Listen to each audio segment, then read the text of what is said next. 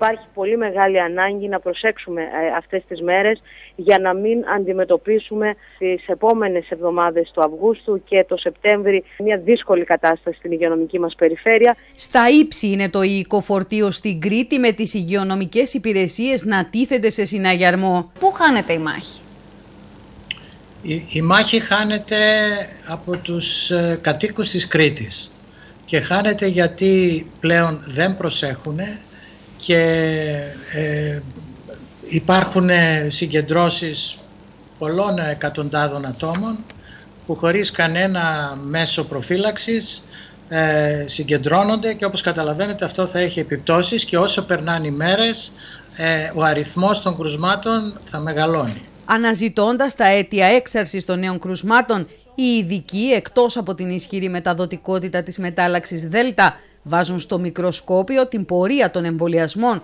τη χαλαρότητα που επικρατεί στην εφαρμογή των μέτρων προστασίας, αλλά και τις κοινωνικές εκδηλώσεις. Η μάσκα ε, έχει φύγει από τη ζωή μας στους εξωτερικούς χώρους, παρά το ότι η νομοθεσία την επιβάλλει εκεί που έχουμε συνοστισμό. Και όχι μόνο αυτό, οι άνθρωποι που δεν φορούν μάσκα εκτός, δεν φορούν και μάσκα εντός. Το κομμάτι του τουρισμού δεν σας ανησυχεί το ίδιο, είμαστε στο Ζενήθ.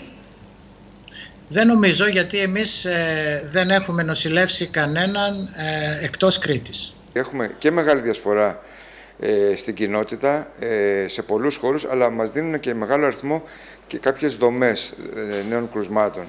Ε, αυτό λοιπόν ε, μας έχει φέρει σε αυτό το σημείο να έχουμε πάνω από 150 ε, νέες διαγνώσεις ε, την ημέρα στην Περιφερειακή Ενότητα Ηρακλείου. Το 150 που αναφέρατε για το Ηράκλειο είναι ορόσημο. Πιστεύετε ότι εκεί θα έπρεπε να ήμασταν περίπου; Και επίσης, όταν λέτε δομές, τι εννοείτε; Αυτός ο αριθμός το 150 ε, συμβιβαστήκαμε να είναι καλός. Αναφέρουμε ότι την αύξηση κρουσμάτων τώρα αυτή την εποχή τη δίνουν μεγάλη εργασιακή χώροι, ε, κλειστές δομές ε, είτε παιδιών ε, είτε ε, που έχουμε τώρα εκδηλώσεις. Ε, Πλέον έχουμε προχωρήσει και δεν μιλάμε για συγκεκριμένες αιστείες, αλλά για μια γενικευμένη υπερμεταδοτικότητα η οποία εμφανίζεται κυρίως σε περιπτώσεις συμπολιτών μας που δεν έχουν εμβολιαστεί. Κύριε Γιώργο, ε, σε ό,τι αφορά τους ασθενείς της ναι. μονάδας εντατικής θεραπείας, είναι στο σύνολό τους ή στην πλειοψηφία τους ανεμβολιαστοί; Να μην πάμε στα, στα αρχικά περιστατικά. Αυτή τη στιγμή που νοσηλεύουμε τους τελευταίους δύο μήνες αρκετά, αρκετούς,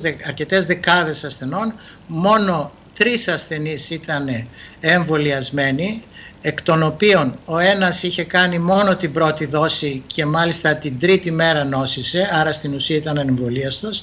Οι άλλοι δύο ασθενείς είχαν υποκείμενα νοσήματα ε, και δεν μπορούσαν να κάνουν αντισώματα. Παρόλα αυτά, αυτοί οι, οι δύο ασθενείς που ήταν εμβολιασμένοι βγήκαν από τη μονάδα.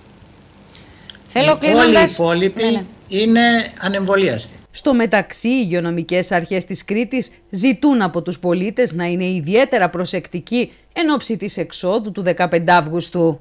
Θα συνιστούσα στους συμπολίτες μας να περιοριστούν στα θρησκευτικά καθήκοντά τους, ε, δηλαδή να μην επεκταθούν σε πανηγύρια, σε γλέντια, γιατί νομίζω πλέον τα κρούσματα ε, από εκεί και μετά θα ξεφύγουν. Σεβόμαστε απόλυτα την, την πίστη. Η πίστη είναι, είναι κάτι το οποίο είναι πολύ σημαντικό για, για τους ανθρώπους.